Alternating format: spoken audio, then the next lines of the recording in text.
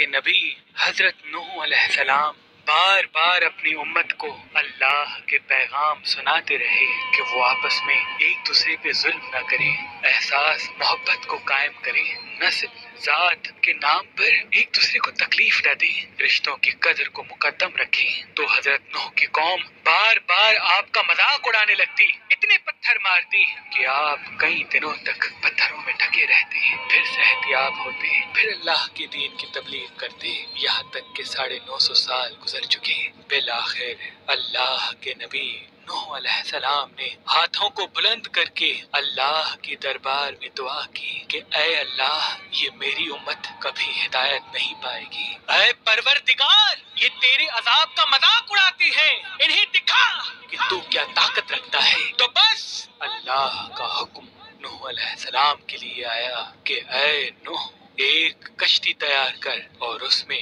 پورے جہان کے چرند پرند کو اور ان انسانوں کو شامل کر جو تم پہ ایمان لے آئے۔ تو یوں اللہ کے نبی حضرت نوح علیہ السلام نے درخت اگائے اور کشتی بنانے میں لگ گئے۔ وہ پوری قوم ہستی رہی اور نوح علیہ السلام اللہ کے حکم کو تسلیم کر کے اپنے فعل میں مصروف رہے۔ تقریباً ایک سو سال کے بعد وہ کشتی تیار ہو گئی اور نوح علیہ السلام تمام چرند پرند کے جوڑوں کو ان کشتی میں سوار کر ہی رہے تھے کہ اتنی دیر میں سانپ اور بچھو آپ کی خدمت میں حاضر ہوئی اور کہنے لگے، اے اللہ کے نبی، اس نجات کی کشتی میں ہمیں بھی سوار کرو. اللہ کے نبی نوح علیہ السلام نے فرمایا، تم تو انسانوں کو تکلیف دیتے ہو، ان کو کاٹتے ہو، تو یوں سانپ اور بچھو رو کے اللہ کے نبی سے عرض کرنے لگے کہ، اے اللہ کے نبی، آپ ہماری نسل کو بچائیں۔ ہم آپ سے وعدہ کرتے ہیں کہ جو بھی انسان سلام علی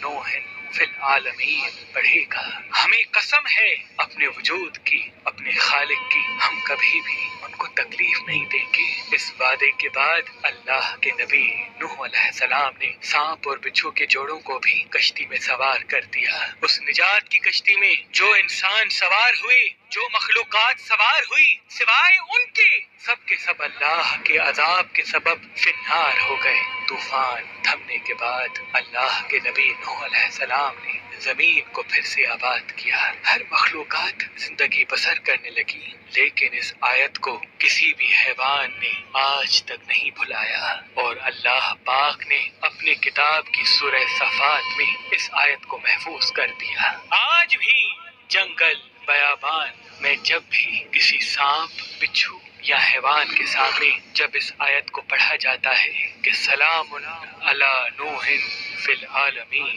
تو سانپ ہو، بچھو ہو یا کوئی بھی حیوان و جن اس آیت کے احترام اور اس کے پسے پشت وعدے کو سمجھ کے، اس انسان کے قریب نہیں آتا، بے شک اللہ